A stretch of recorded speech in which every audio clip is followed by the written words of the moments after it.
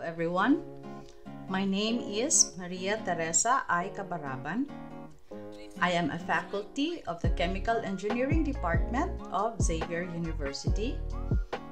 I am also the university's Research Ethics Coordinator and concurrently the chair of the university's Research Ethics Board. This presentation is the second of two parts the general aim of which is to discuss the processes and guidelines by which research proposals are evaluated by the University Research Ethics Board to determine whether or not they meet the quality and ethical principles and standards for research involving human participants as set out in the National Ethical Guidelines for Health and Health Related Research.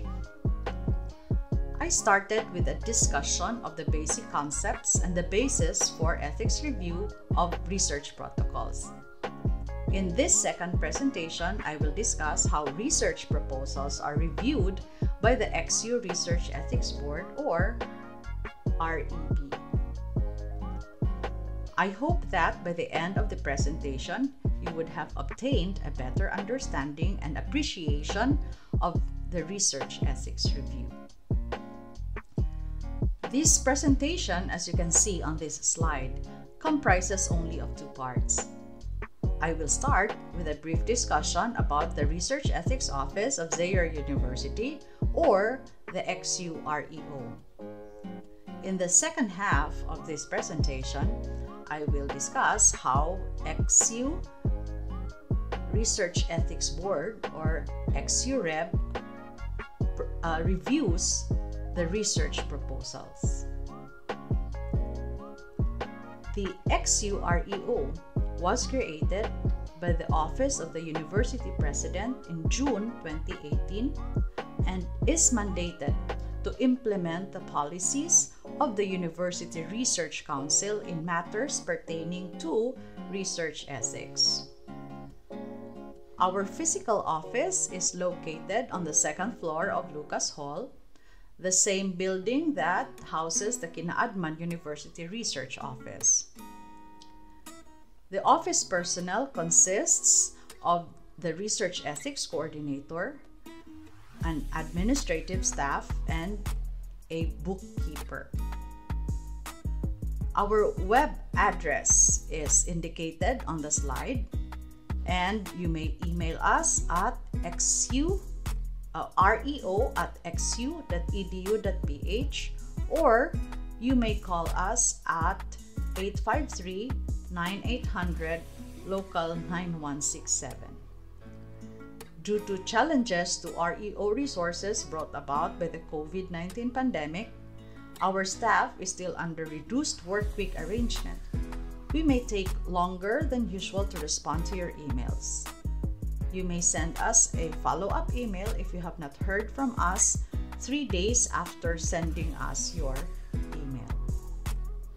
The creation of the office is aligned with the university's commitment to the attainment and sustainability of a strong research culture among faculty and students and promotes high quality research that is conducted at a high level of academic rigor and carried out to high ethical standards.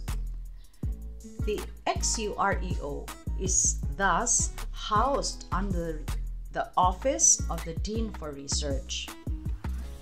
It serves as the administrative office that supports the ethics review and approval process for research involving human participants and for research teaching, and testing involving vertebrate animals.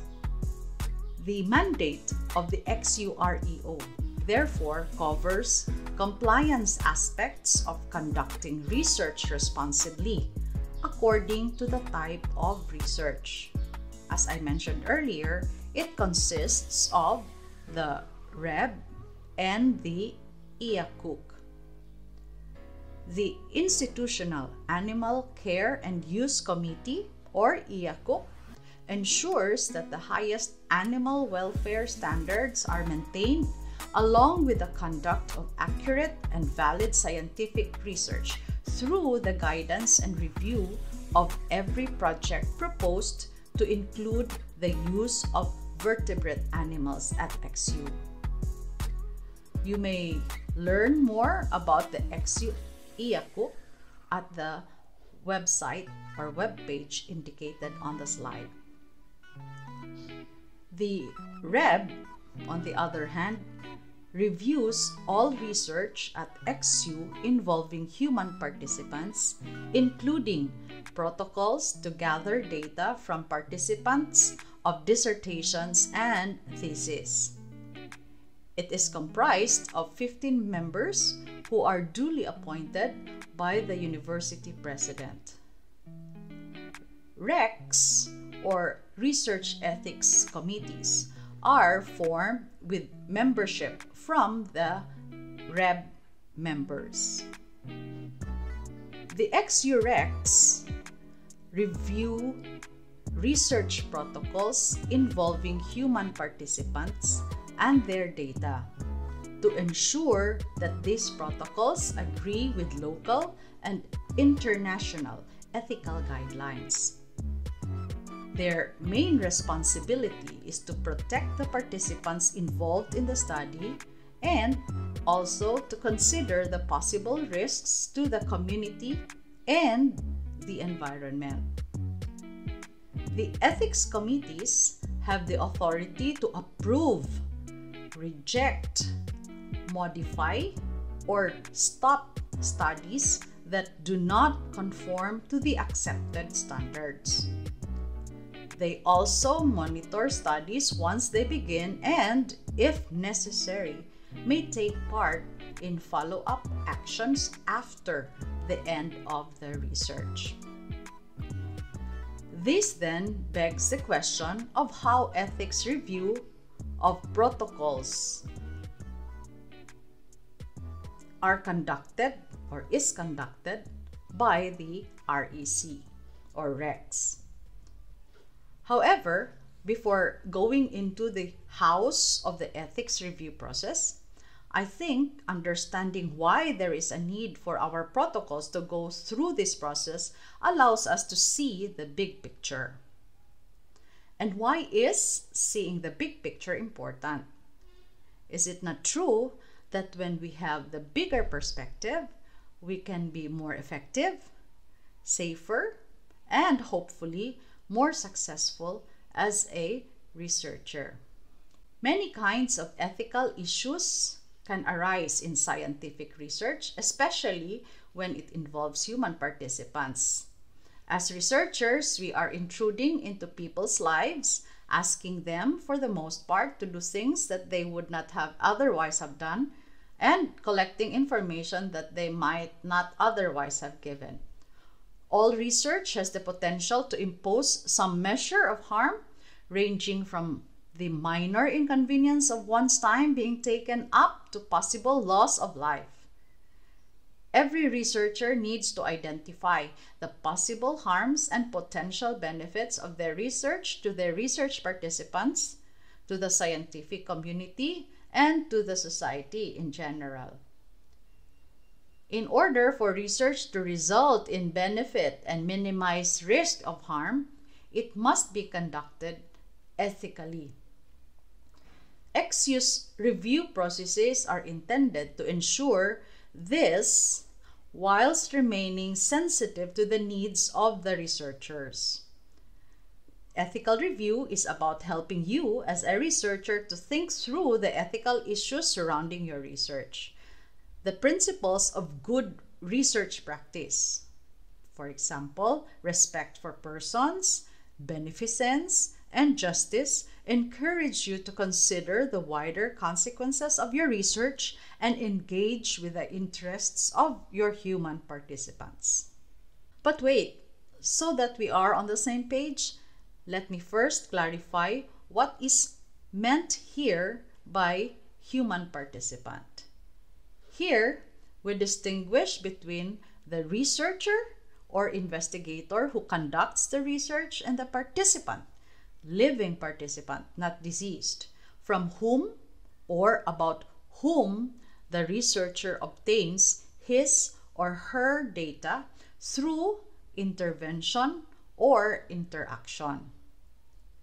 The term intervention applies to any activity involving both physical procedures by which data are gathered and manipulations of the subject or the subject's environment. On the other hand, the term interaction includes communication or interpersonal contact between investigator and the individual. By the way, subjects, the term subjects is traditionally used in experimental or quasi experimental designs where those involved in the research react to the intervention. Respondents are used for survey designs where those involved respond or answer structured or semi-structured questionnaire. Okay, to continue, our data may also come in the form of identifiable private information. Private information is information that is associated with individuals or groups of individuals which could reveal details of their lives and other characteristics that could impact them. This includes information about behavior that occurs in a context in which an individual can reasonably expect that no observation or recording is taking place, and information that has been provided for specific purposes by an individual and that the individual can reasonably expect will not be made public. For example, our medical records, our school records, and even our tax record. Private information is not necessarily information that, on its own, linked to individuals directly. For example, the combination to a bank safety deposit lock is private, but the combination number itself does not necessarily point to a specific individual.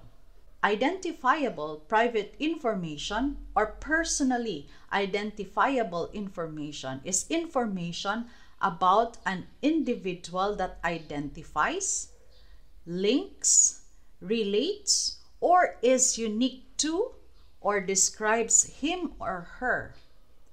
Examples of identifiable private information include names, addresses, birth dates, phone numbers, our email addresses, identifying numbers such as our social security number or our taxpayer identification number. Our employment details also are private information, identifiable private information, as well as our photos that we posted perhaps on Facebook. So, now I think we are ready to discuss the research ethics review process, which may appear to some like the proverbial black box. An application is submitted and considered, and a decision is made. That is, the process is submit, review, decision. In reality, the research ethics review involves more than just the REB or the REC. Contributing to the overall review process are other stakeholders and their roles in the development and submission of the application and the subsequent movement of the application back and forth between researchers, administrative staff, reviewers, chair, until ideally the application is deemed ready for approval. We may want to visit the Research Ethics Office website where you will hopefully find information useful when you apply your protocol for ethical review. If you click on the Review Process tab, you will be direct directed to a page that will hopefully guide you through the review process. The researcher initiates the process of ethics review by developing a proposal and submitting it for review by a technical or scientific panel. The scientific panel is a group of scientists and other experts that reviews the proposal for scientific quality and correct study design. If the scientific review panel deems the proposal to be lacking in scientific merit, it is sent back to the researcher for revisions. The researcher then resubmits the revised proposal and the scientific review panel assesses whether the researcher has sufficiently addressed the recommended revisions. If not, it is again sent back to the researcher for revisions. These are important steps in the overall review process because a protocol cannot be ethically acceptable if it does not conform to standards of good research design and conduct. In this sense, a scientifically sound research design is the first step in developing an ethically acceptable protocol. Else, if the proposal is deemed to pass the scientific scrutiny of the scientific review panel, the researcher may then submit the protocol or the proposal that has been approved by the scientific review panel, together with other relevant documents to the XUREO for ethical review. All ethics review documents must be submitted to the XUREO through email. The following are the relevant documents for the review. The REO requires the submission of the full protocol to be reviewed. The research protocol that we refer to here follows the proposal stage. It is meant to detail a study's methodology to meet specified ethical norms for human subjects. It should clearly and plainly provide an overview of a proposed study in order to satisfy XU's guidelines for protecting the safety of human participants who might be adversely impacted by the research. The ethical risk filter form will help determine whether the protocol requires ethical review or is exempt from ethical review. If you answer no to all five questions, then the protocol qualifies for a recommendation for exemption. This form must be completely filled out, signed, and dated. Another important document is obviously the application form for ethical review. The first section of the form requires general information about the study. Except for the XU REC package number, which will be filled out by the REO administrative staff, the researcher needs to completely fill out the required information and tick the relevant boxes. The study site refers to the facility in which the protocol or study activities will be conducted. For example, the study site is the site where a clinical trial or a clinical study will be conducted. Or this is the site where the laboratory experiments will be performed, or this is the site or communities where the participant or subject encounter occurs. These sites could be online or real time sites or communities. Section 2 of the application form requires information about the principal investigator as well as the co-investigators. Section 3 is on the declaration of conflict of interest. The term conflict of interest in this section of the application form refers to situations in which personal, family, or financial considerations may compromise or have the appearances of compromising a researcher's professional judgment in conducting or reporting research resulting from being unduly influenced by a secondary interest such as financial gain or career advancement. The resultant bias may be conscious or unconscious of the part of the researcher. Declaring conflicts of interest, therefore, and the effective management of these conflicts are critical for maintaining the integrity of the research.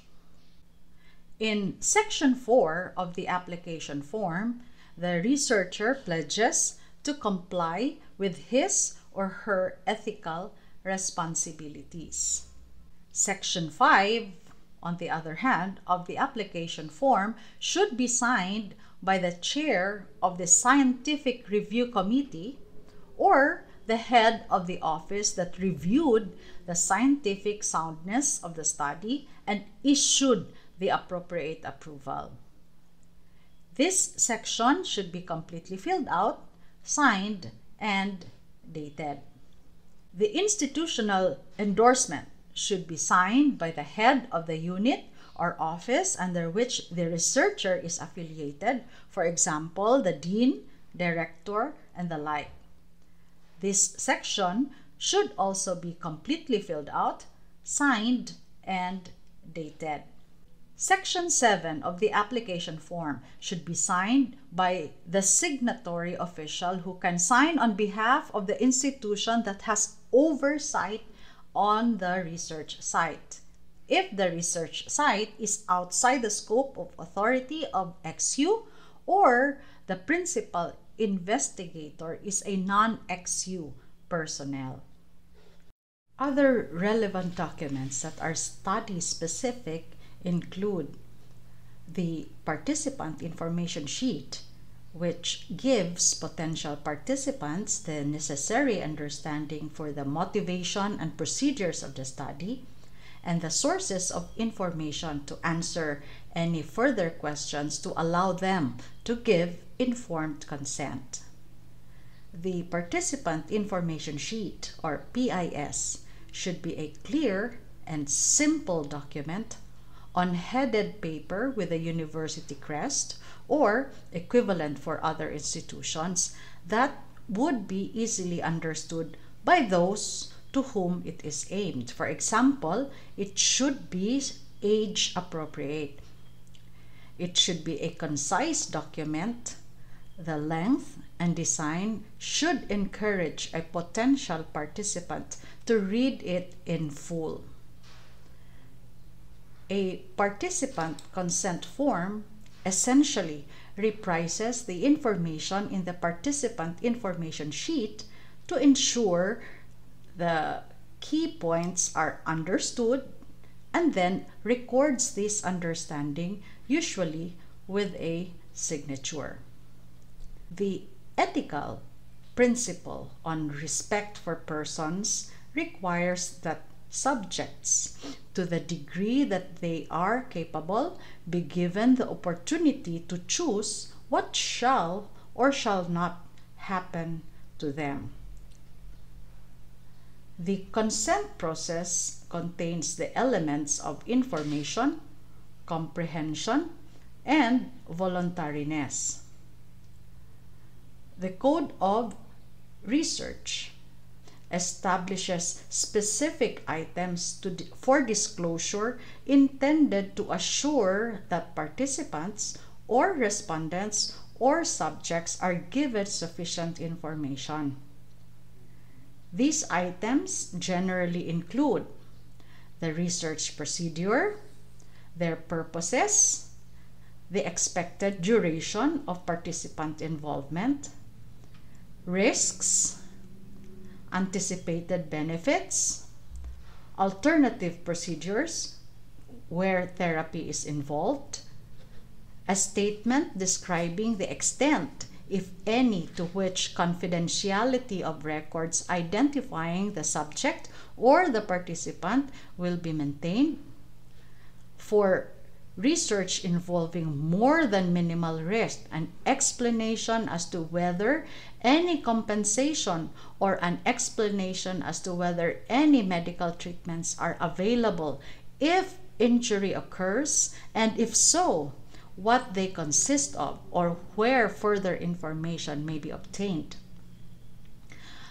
It also includes a statement that participation is voluntary Refusal to participate will not involve in any penalty or loss of benefits to which the subject is otherwise entitled, and the subject may discontinue participation at any time. And it should include a statement offering the participant the opportunity to ask questions and to withdraw at any time from the research. Additional items have been proposed, including how subjects are selected, the person responsible for the research, etc.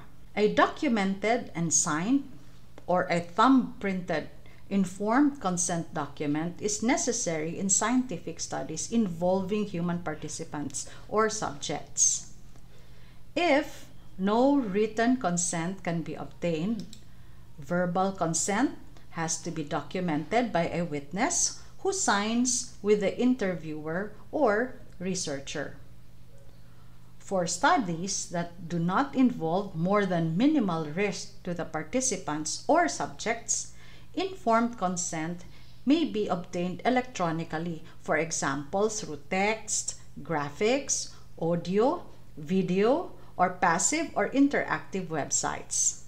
Electronic informed consent includes a number of ways of obtaining informed consent without, with supportive electronic information from a computer or tablet, tablet-based process at the study site to a completely remote internet-based process. Here, comprehension of the consent materials may be addressed by ticking a checkbox of, say, I understand and agree, or by mandatory quizzes as a comprehension check.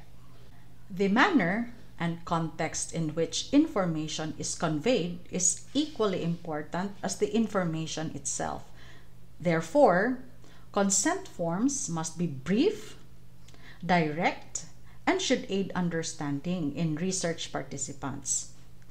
It is recommended to use simple language for English language consent document as well as a translation in local languages which is straightforward and easy to understand. The researcher will also be required to submit the informed consent assessment form duly filled out. Also, uh, required for submission is a copy of the study instruments, the interview questions, the FGD guide, and other data collection forms. Debriefing is the counterpart to the informed consent stage that occurs when participants are recruited for research. It is an important consent component of study designs involving the deception of human participants. Debriefing is the act of informing participants about the intentions of the study in which they just participated. During this process, researchers reveal any deceptions that occurred and explain why deception was necessary. Debriefing typically occurs at the conclusion of the participant's study involvement. The main purpose of participant recruitment is to inform and invite potential participants or subjects to participate in the research study. Advertisements and recruitment materials are typically thought of as, a, as the beginning of the informed consent process and include flyers, emails, social media, and telephone. Prior to posting or distribution, the XUREB must approve the final content of any and all advertisements and recruitment materials.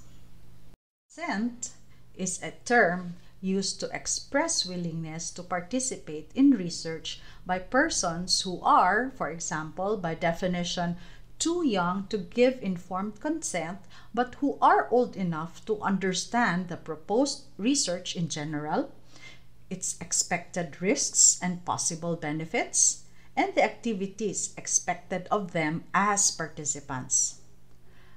Assent by itself is not sufficient, however. If assent is given, informed consent must still be obtained from the participant's parents or guardian or legally authorized representative. Other relevant documents include copies of letters to parents or guardians or children for studies involving children or educational institutions. The Memorandum of Agreement or the Memorandum of Understanding for collaborative studies and data management plan, but only when this is required by the funder and where applicable and available. If the research is targeting a specific group outside or external to Xavier University, the researcher must first obtain the relevant permission or approval from the head of office to approach the group as appropriate. This applies to any form of research involving such groups. For example, through our focus group discussions, uh, surveys, interviews, etc. Likewise, all external researchers who wish to recruit Xavier Ateneo staff, students, or faculty as participants in research studies are required to seek permission to do so. When cultural communities are identified as the research and the indigenous peoples are participants in research. The National Commission for Indigenous People or NCIP clearance must be submitted to the XUREO as part of the submission package. It is ethically required that researchers be in compliance with national and international rules and regulations. Therefore, the researcher is also required to submit to the XUREO um, clearance or permit from respective regulatory authorities such as the FDA for approval for clinical trial, trials or DENR for local transport permit as applicable. Student researchers must also provide evidence of compliance with the CHED Memorandum Order Number 63, Series of 2017, which sets guidelines for off-campus activities if applicable. Additionally, the university president issued University Memo 2021-020 dated 8 September 2020 which establishes the interim guidelines for continuing research during flexible learning. In this university memo, special considerations related to face-to-face interactions and research-related travel activities require submission to the Kinaadman University Research Office relevant documentation and approval by relevant authorities. Student researchers must similarly provide evidence of compliance with this university regulation during this time of the COVID 19 pandemic. Each protocol undergoes a preliminary screening by the REO administrative staff to confirm that all necessary documentation has been submitted and completed. The REO administrative staff will inform through email the principal investigators regarding incomplete protocol submissions, indicating reasons and specific instructions on how these will be addressed. For example, uploading of applicable documents, revising specific sections into a correct version, etc. Principal investigators with complete protocol package are notified also through email of their REC package number, and the type of review under which the protocol is categorized by the REB chair. The REB chair classifies the study protocol review pathway as either exempt from ethical review, expedited review, or full committee review. Following are categorized as exempted from ethical review. Number one, protocols that neither involve human participants nor identifiable human tissue, biological samples, or data available in the public domain for systematic reviews or meta-analysis. Number two, protocols for institutional quality assurance purposes, evaluation of public service programs, public health surveillance, educational evaluation activities, and consumer acceptability test.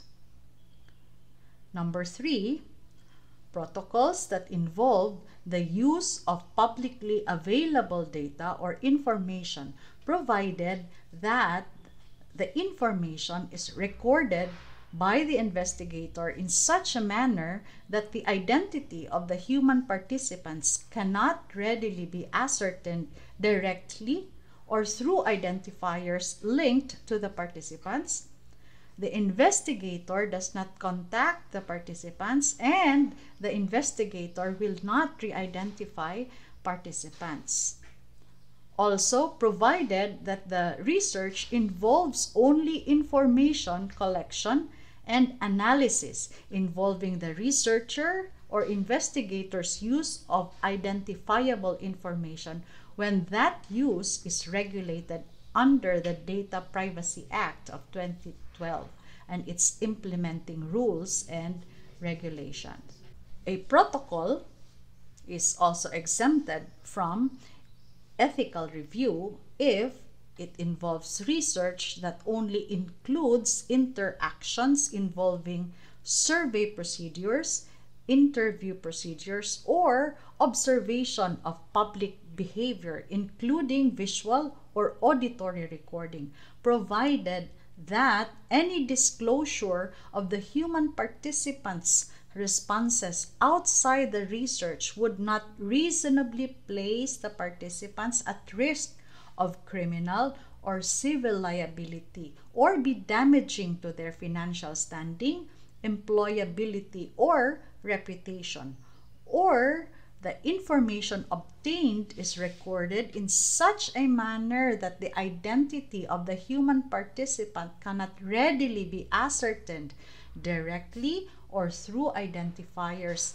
linked to the participant and that the data is completely anonymous with no identifiable private information being collected, the data is not considered to be sensitive or confidential in nature, the issues being researched are not likely to upset or disturb participants, vulnerable groups are not included, and there is no risk of possible disclosures or reporting obligations.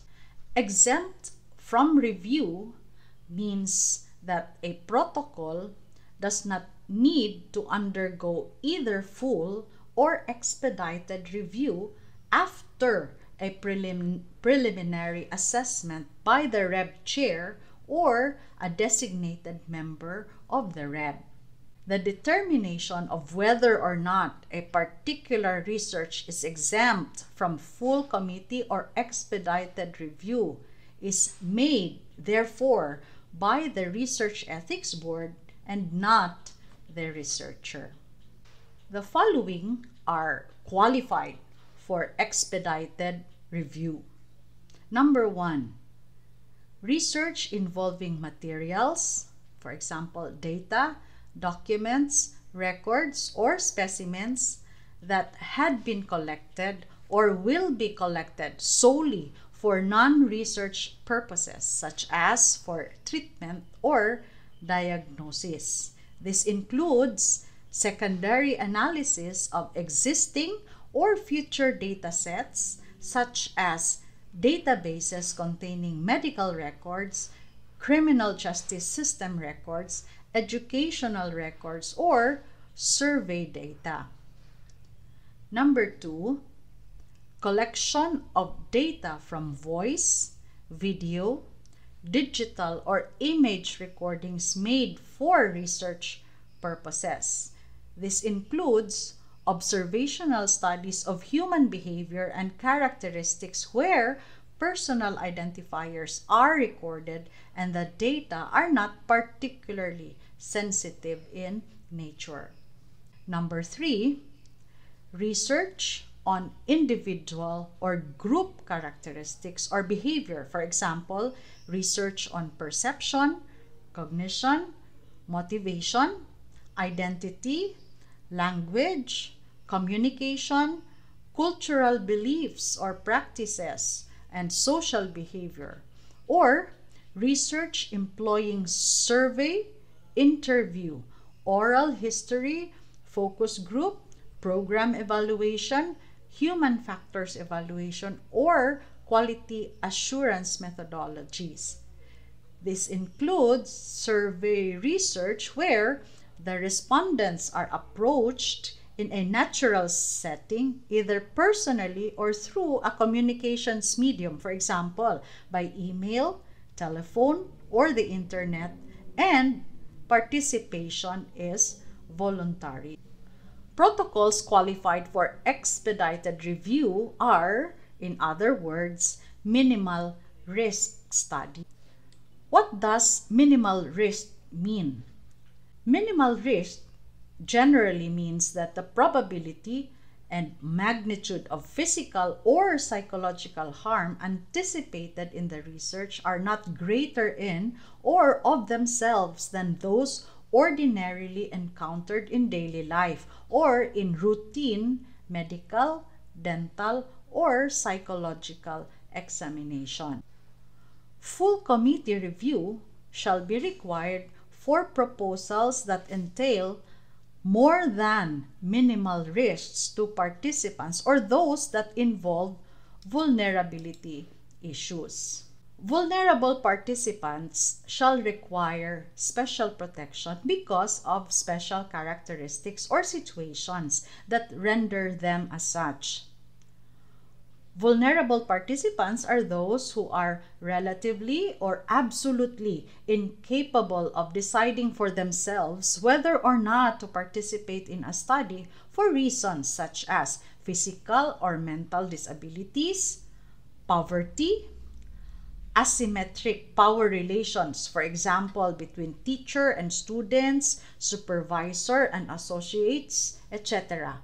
and marginalization, among others, and who are at greater risk to some harms. Vulnerable groups shall not be included in research unless such research is necessary to promote the welfare of the population represented and it cannot be performed on non vulnerable persons or groups. Protocols that do not involve human participants nor identifiable human tissue, biological samples, and human data, as described earlier, are technically exempt from review but will be subject to expedited review at the level of the REB chair. Protocols that qualify for exemption are automatically archived and classified as inactive and protocol records will be made available by the XUREB for three years from date. Expedited review refers to the number of members doing the ethical review rather than the length of time it requires. The reviewers, either of full committee or of expedited protocols, are given 14 days to return to the REO administrative assistant the review documents. What does the REC look for when reviewing your protocol? The participation of human beings in research can only be justified if the social uh, value of the study can be established. Social value refers to the relevance of the study to an existing social or health problem such that the results are expected to bring about a better understanding of related issues or contribute to the promotion of well-being of individuals, their families, and communities. Obtaining informed consent is a process that is begun when initial contact is made with a potential participant and continues throughout the course of the study. By informing potential participants by repetition and explanation, by answering their questions as they arise, by ensuring that they understand each procedure, and by obtaining agreement from them, the researchers elicit their informed consent and in so doing manifest respect for their dignity and autonomy informing the potential participant shall not be simply a ritual recitation of the contents of a written document. Rather, the researcher shall convey the information, whether orally, in writing, or other modes of communication, in a language and manner that suit the individual's capacity and level of understanding all research involving human participants shall be preceded by a careful assessment of predictable risks, burdens, and foreseeable benefits to the research participant or to others. Every precaution shall be taken into account to minimize the negative impact of the study on the research participants' well being according to the ethical principle of beneficence or non maleficence. Research is justified if there is a reasonable likelihood that the population from which the participants are derived stand to benefit from the research and only if the chance of possible benefit outweighs the risks of possible harm to the participants. Researchers must respect participants' right to privacy. Unless required by law, the confidentiality of information shall at all times be observed. Records that link individuals to specific information shall not be released. This requirement shall be included in the informed consent form. researchers shall refrain from identifying individuals or groups when release of information about them can expose them to possible harm or social stigma unless required by law. The researcher shall describe his or her data protection plan in the protocol, including the steps to be taken so that all who have access to the data and the identities of the respondents can safeguard the privacy and confidentiality. In research involving human participants, the principle of justice refers primarily to distributive justice, which requires the equitable distribution of both the burdens and the benefits of participation in research. As such, there should be fair selection in the choice of population, sampling, and assignments.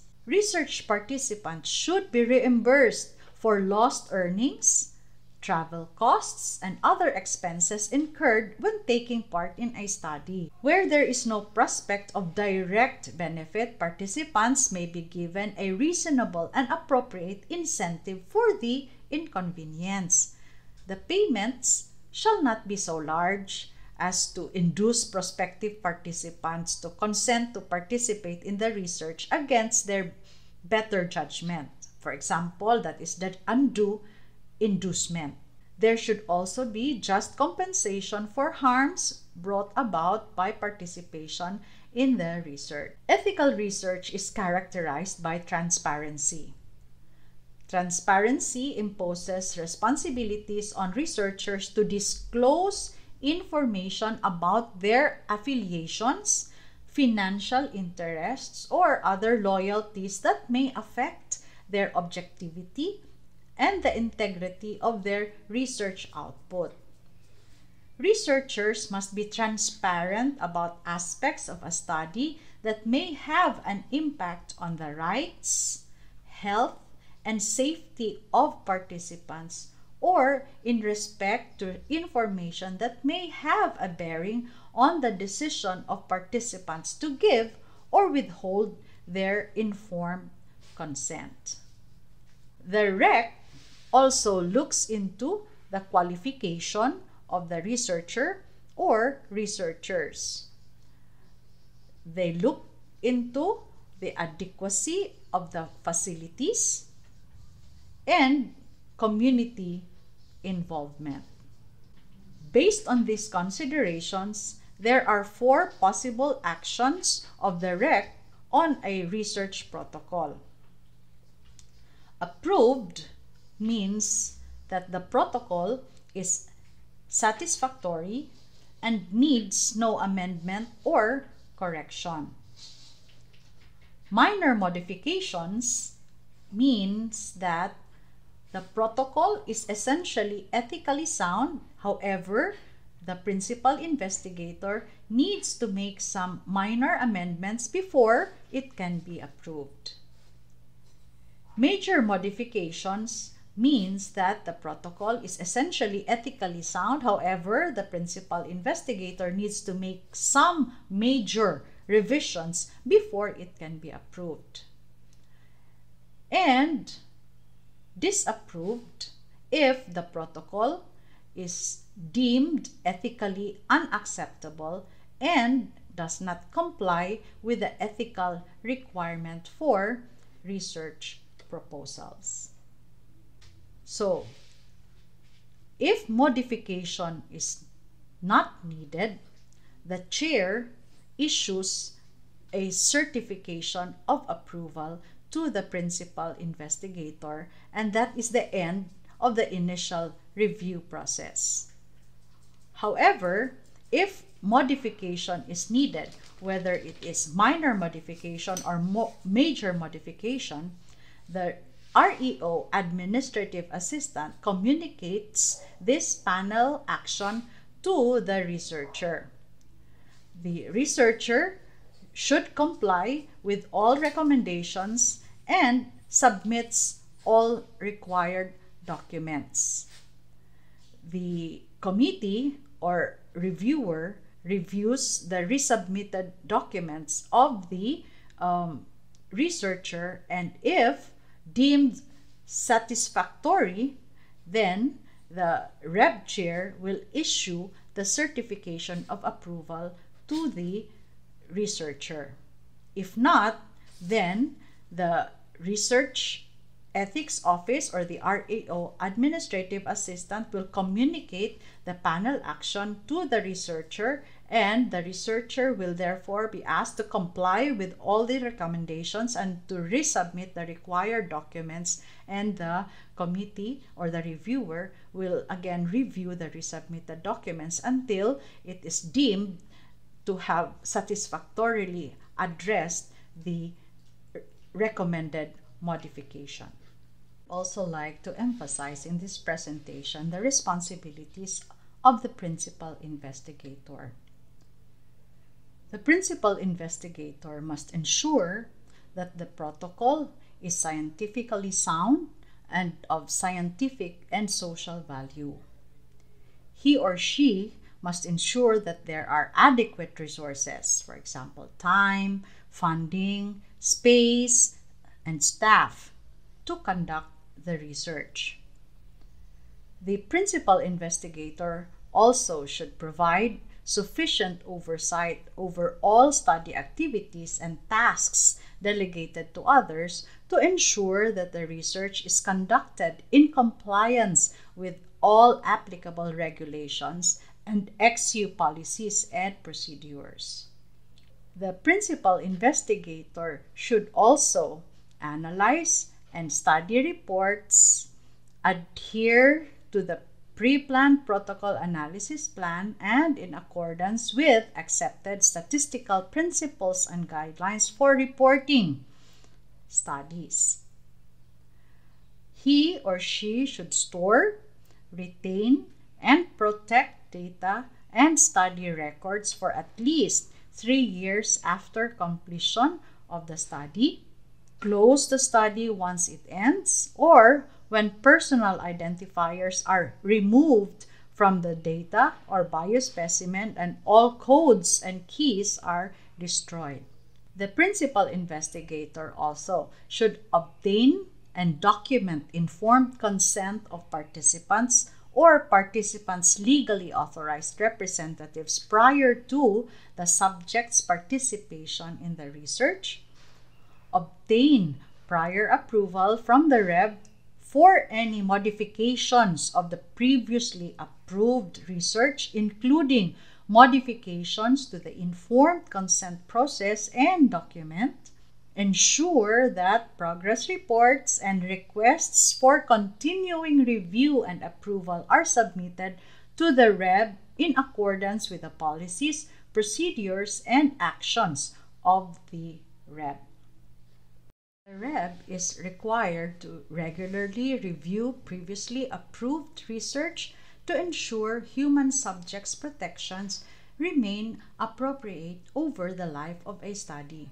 This process is called continuing review. For studies determined to qualify for full review, continuing review is required at intervals appropriate to the degree of risk um, this is done annually at a minimum unless the study status has progressed to data analysis only or acquisition of long-term follow-up data collected as part of routine care. Justifications for continuing review for research that qualified for expedited review might include the following. The project is regulated by the Food and Drug Administration or by another sponsor that requires continuing review. The project involves additional regulatory oversight. The study procedures or risks indicate greater oversight is necessary or other research-specific conditions or considerations that apply. When continuing review is required, investigators must submit an application for continuing review three to four weeks in advance of the approval expiration date. Brings us to the end of this presentation. I sincerely appreciate that I've had this opportunity to present to you. I'd like to finish with this quote from Rodney Davis. If you are guided by a spirit of transparency, it forces you to operate with a spirit of ethics. Success comes from simplifying complex issues, addressing problems head on, be truthful and transparent. If you open yourself up to scrutiny, it forces you to a higher standard. I believe you should deliver on your promise. Promise responsibly.